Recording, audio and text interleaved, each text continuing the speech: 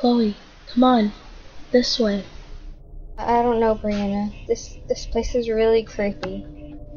What's the harm? We're just gonna grab a pizza and play a few games. No one will notice. Fine. Only for 20 minutes, though. I'm scared, Brianna. What if the guard catches us? It's alright. I heard the previous guard was fired. That's why this is the perfect night for some free pizza and games. Okay, but what if they got a new one? I doubt it. They barely put up a help wanted sign yesterday. Still, these robots creep me out, though. It's fine. It's not like they're gonna hurt you or anything. What's the worst they can do? Sing to you till you die? You're just overreacting. Come on, let's go play some games and eat pizza before anyone realizes we're gone.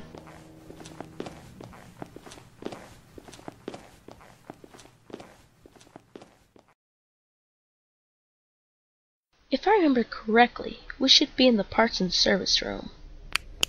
Wow! They have other animatronics in here. Too bad they've been torn apart and are a bit creepy compared to the other ones on stage. Nope, I'm out. Oh, come on, Chloe. We go through the trouble to get here, and then you decide to back out on me? I'm freaked out, okay?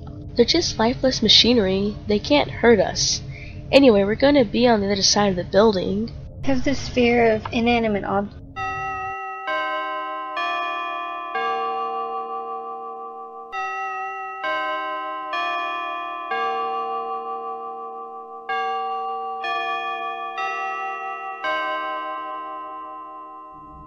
It's midnight. Anyway, I have this fear of inanimate objects coming to life. Well, let's get going then before you die from having a staring contest with one of those robots. Those things freak me out. Like those blank eyes. Well, we're not here to see the robots, okay? We're here to have fun, so don't worry. Okay. Oh, great. They're staring at us. How lovely. It's not like they're gonna hurt you. All they can do is stare. I don't know. They give me bad vibes. You know what? Don't worry about it. We came to play games and eat pizza. It's not like they'll get mad at us. They're just robots. They should be turned off. Alright, let's go party.